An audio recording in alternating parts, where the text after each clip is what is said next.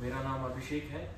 मैं B L K company से safety officer safety engineer जिसको आपने देखा ना भी हाँ, आपने सेफ्टी ऑफिसर कि कैसे आपको जगह जगह पे जाके बताया जा रहा है खतरों के बारे में और उससे बचने के सावधानियाँ बताई जा रही हैं। तो देखो जब भी हम किसी साइट पे जाते हैं नए वर्कर जो भी हैं हम हमसे ज़्यादा कोई काम नहीं करता।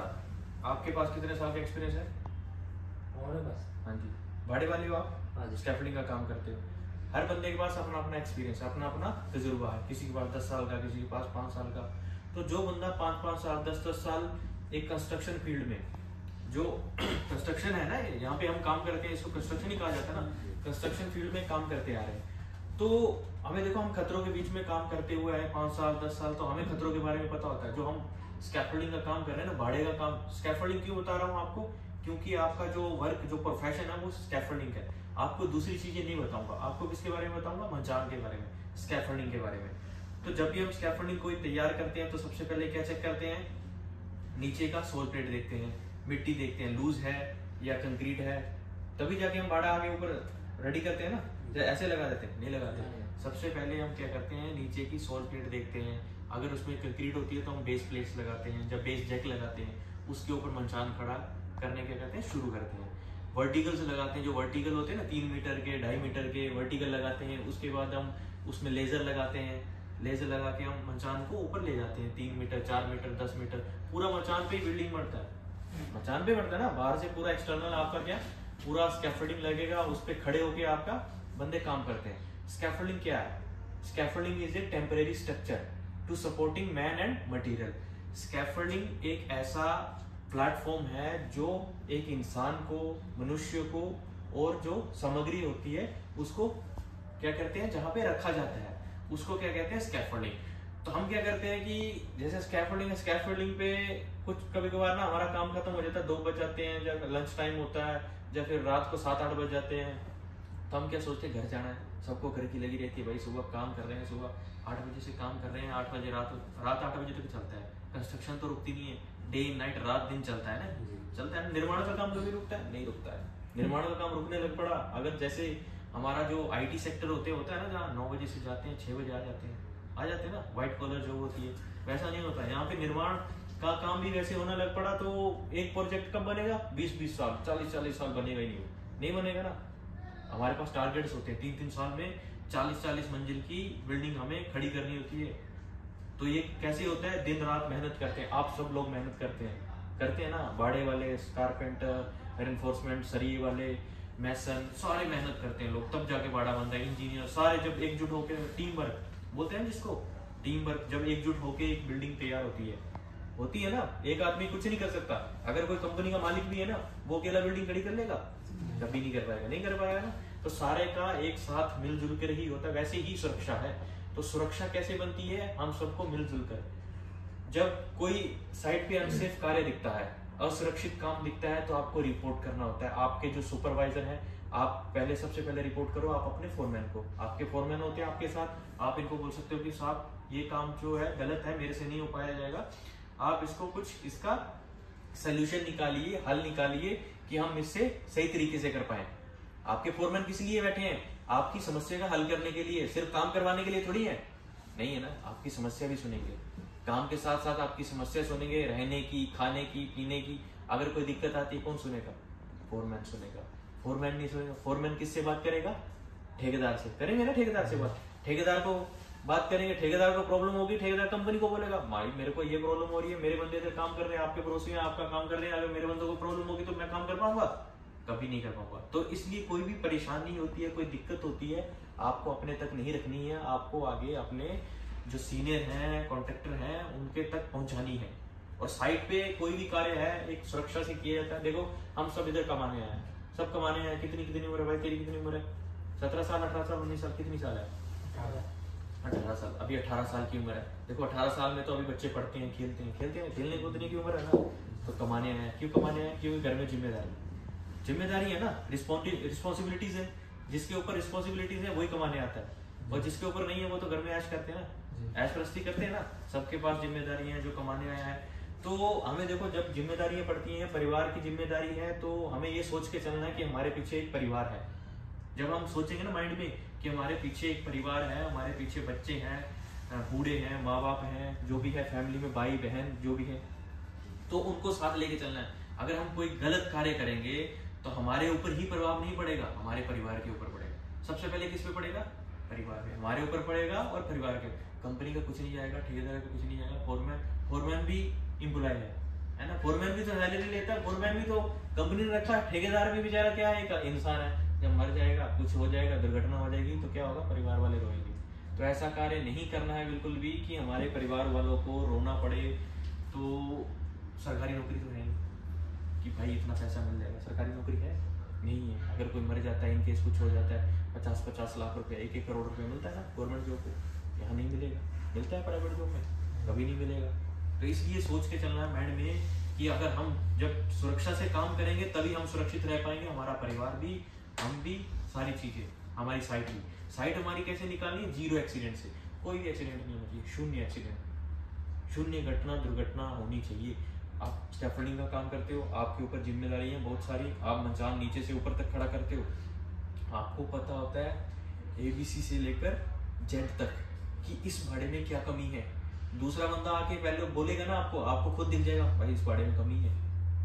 उसको बोलने की ज़रूरत ही नहीं आपको सामने दिखेगा, इस भाड़े में कमी है यार, मैं कमी छुपा रहा हूँ। पर उस भाड़े में क्या होगा? वर्कर खड़ा होगा, स्टाफ खड़ा होगा।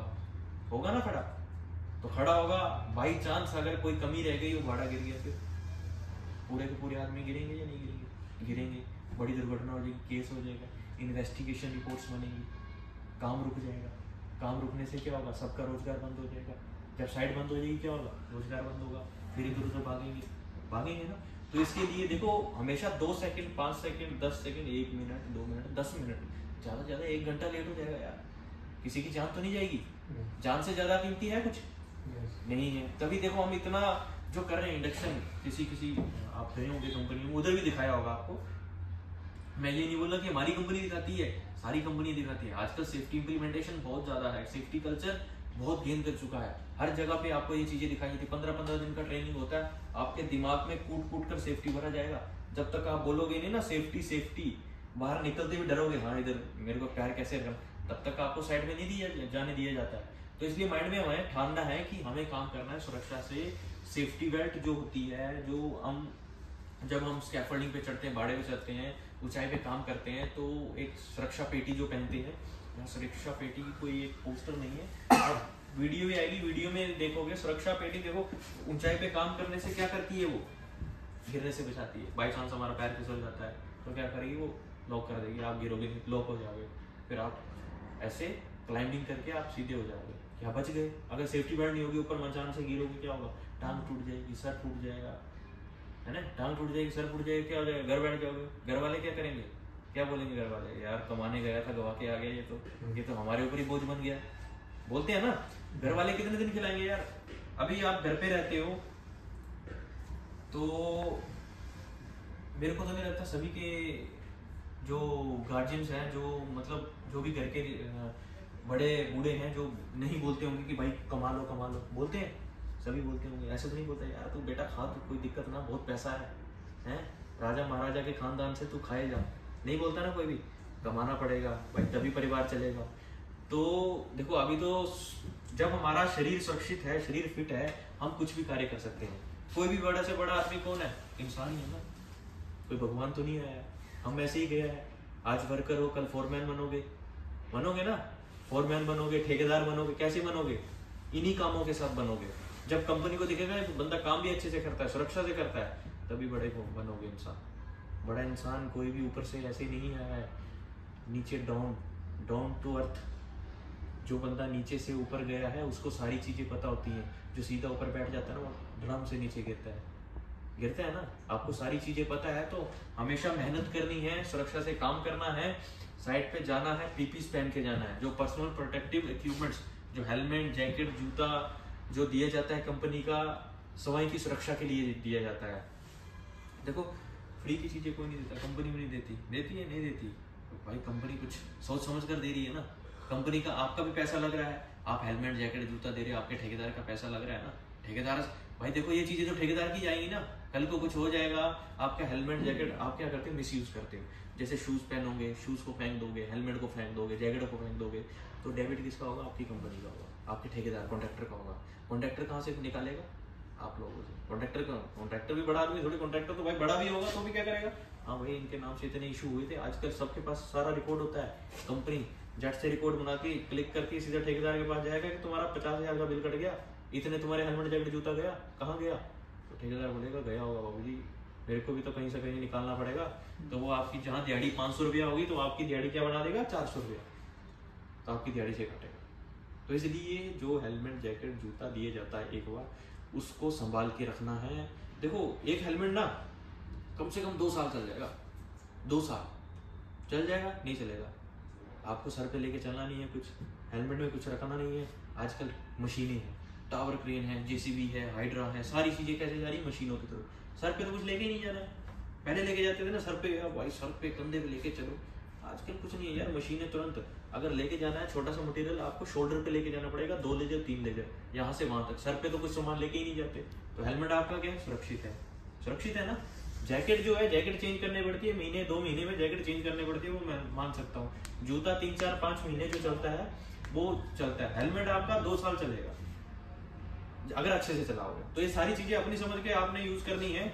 कोई भी कार्य अगर आपको गलत दिखता है, आप ही नहीं, आपका बंदा ही नहीं, दूसरा ठेकेदार का अगर गलत कार्य कर रहा है तो उसको रोकना है। नहीं मानता है, आप हमें इन्फॉर्म कर सकते हो साइड टीम को कर सकते हो। साइड पे आपको व्हाइट हेलमेट वाले इंजीनियर सुपरवाइजर ब्लू हेलमेट वाले, जो जैसे बताया ना अभी कलर कोडिंग का बताया ना टीवी में, कि ये जेल जो पीला हेलमेट वाला वो कौन है यार? और नीले हेलमेट वाला वो कौन है? सफ़ेद वाला कौन है और हरे वाला कौन है? कैसे पता करोगे? अभी बताया। हरे वाला कौन होता है? सुरक्षा कर्मी और सफ़ेद वाला कौन होता है? इंजीनियर। होता है ना, इंजीनियर होता है। ब्लू हेलमेट वाले कौन होते हैं? फोरमैन, सुपरवाइजर, ऑपरेटर्स, ये बंदे होते हैं। और येलो हेलमेट वाला वो कौन होता है? वर्कर। है ना? तो ये पहचान होनी चाहिए। ये कलर कोडिंग ज़रूरी है। कुछ क्या करते हैं? हेलमेट में जैसे तुम्हें क्या तो कुछ सारी चीज़ें देखेंगे तो थोड़ा बोर नहीं होना। अगर बोर हो रहे हो तो कुछ चुटकुला सुना दिया जाए मेरे को तो लग रहा है यार बोर हो रहे तुम लोग। बोर हो रहे हो गाना वाना सुना दिया जाए क्या? गाना नहीं सुना है ना? यही चलने देना गाना वाना तो घर पे सुनते हो लेबर कैंप भी लेबर कैंप देखा अभी किसी ने? लेबर कैंप देखा? कितना अच्छा है? अच्छा है या नहीं है? अच्छा है ना? और कंपनियों देखा होगा।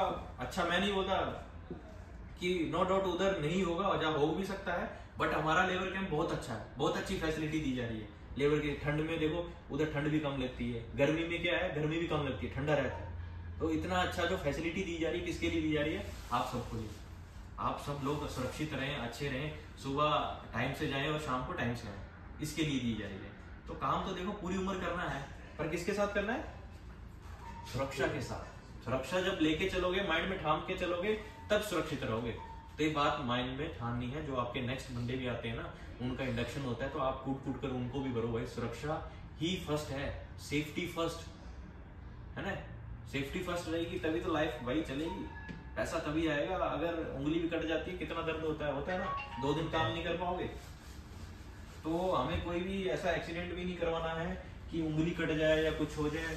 देखो ये कहीं ना बात आप सुरक्षित रूप से काम करोगे तो कंपनी व्यक्तियों को टीमों को पुरस्कृत करके सुरक्षित व्यवहार। इसका मतलब है ये बोल रहा है देखो पुरस्कारित कर रहे हैं ना? ये देखो सेफ्टी हम्म। वाले जो हैं ये आदमी को पुरस्कारित किया जा रहा है और यहाँ से माइक से बोला जा रहा है नाम। जब सबके सामने नाम लिया जाएगा तो आपकी छाती जोड़ी होगी, भाई, मैंने अच्छा काम किया है। होगी ना? अच्छा काम किया है बाड़े हमारे यहाँ पे हर महीने एक मोटिवेशनल प्रोग्राम किया जाता है, पुरस्कारित किया जाता है, जो अच्छा काम करते हैं। अच्छा काम करोगे, भाई, पुरस्कारित किया जाएगा। अच्छी अच्छी चीज़ें दी जाएँगी। तो यहाँ पे देखो, इनको पुरस्कारित किया जा रहा है मोटिवेशनल प्रोग्राम होता है और उसको पुरस्कारित किया जाता है। तो अच्छा काम करना है और को प्रोत्साहित करती है। जो दिन प्रतिदिन के काम में सुरक्षा सुनिश्चित करता है, उनको पुरस्कृत कर प्रोत्साहित करते हैं और सेफ्टी कार्यक्रम में सभी की भागीदारी और स्वामित्व को प्रोत्साहित करते हैं। दोस्तों, हमारी कंपनी की स्वास्थ्य, संरक्षा और सुरक्षा नीति है। हम सुरक्षित, स्वस्थ और अपूर्ण बात है कि काम चालू करने से पहले किसी दुर्घटनाओं की संभावना को रोकने या कम करने के लिए अनिवार्य पीपीई, सुरक्षा हेलमेट, रिफ्लेक्टिव जैकेट और सुरक्षा जूते आवश्यक रूप से पहनना अनिवार्य है। इन्हें कार्यस्थल पर व्यक्तिगत सुरक्षा उपकरण के रूप में जाना जाता है। कोई भी सामान की मैनुअल हैंडलिंग के लिए दस्ताने पहनना ज़रूरी है। अगर आप डस्ट और हॉट वर्क में काम कर रहे हो तो चश्मे पहनना अनिवार्य है।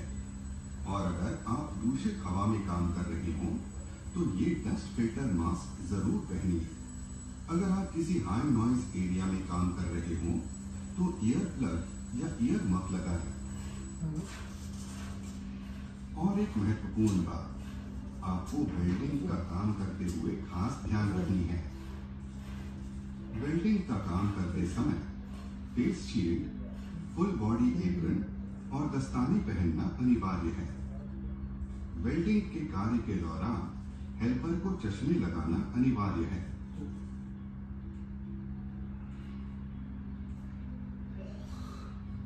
अरे शंकर, इतनी जल्दबाजी में कहा जा रहे हो?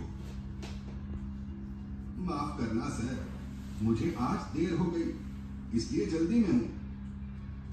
तुम्हारा हेलमेट कहाँ है? हाँ सर पहनना भूल गया। सुपरवाइजर सर डांटेंगे। यह बात सही नहीं है, शंकर।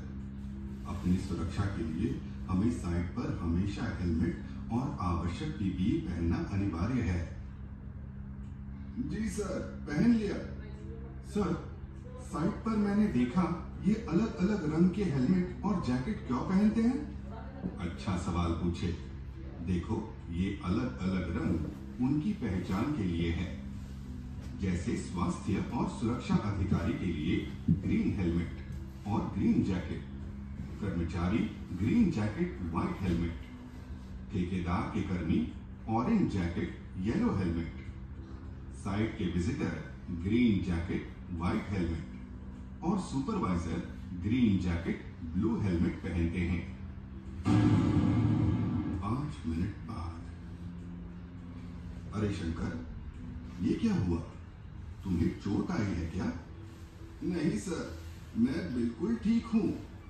ऊपर से लोहे की एक पट्टी गिर गई। अच्छा हुआ मैंने हेलमेट पहना था, वरना मेरा बचना मुश्किल था। हेलमेट की वजह से आज मेरी जान बच गई। कहते हैं ना, सर सलामत तो पगड़ी पचास। बहुत अच्छी बात कही तुमने। और यहाँ पर एक बात ध्यान रखना बहुत ज़रूरी है। अगर ऊपर कोई काम चल रहा हो तो हमेशा सतर्क रहें और उस जगह को सुरक्षित बैरिकेड करें। उस जगह को सामान्य आने जाने का रास्ता न बनाएँ। अरे मोहन, शंकर को साथ लेकर जाओ और कुछ देर आराम करने दो। ध्यान रहे, ऐसी गलतियाँ ना हो। यह जानलेवा हो सकती हैं। देखा आपने? अगर शंकर जल्दबाजी में बिना हेलमेट काम करने लगता तो अभी उसे सिर में चोट लग सकती थी। जो कि उसके और उसके परिवार के लिए कष्टदायक हो सकती थी। ध्यान रखें, आप ऐसी महत्वपूर्ण बातों को नजरअंदाज नहीं कर सकते हैं। कार्यस्थल पर अपने स्वयं के स्वास्थ्य एवं सुरक्षा की रक्षा के लिए सभी कर्मचारी स्वयं जिम्मेदार हैं। अरे राम सिंह, ये क्या कर रहे हो? काम के वक्त मोबाइल का इस्तेमाल वर्जित है। कभी भी काम के दौरान मोबाइल फ़ोन का इस्तेमाल ना करें। इससे आपका ध्यान भटकता है और दुर्घटना हो सकती है। माफ़ करना, सर। आइंदा ये गलती नहीं होगी। सुरक्षित काम करने की हमारी कुछ नैतिक जिम्मेदारियाँ और नियम हैं, जिन्हें पालन करना आवश्यक है हमारे काम के वजह से किसी की दुर्घटना में मृत्यु ना हो और हमारा लक्ष्य शून्य नुकसान को हासिल करें हमारे काम के वजह से किसी को भी एक छोटी सी खरोंच भी न आए और हम सभी काम करके सुरक्षित घर जाएँ।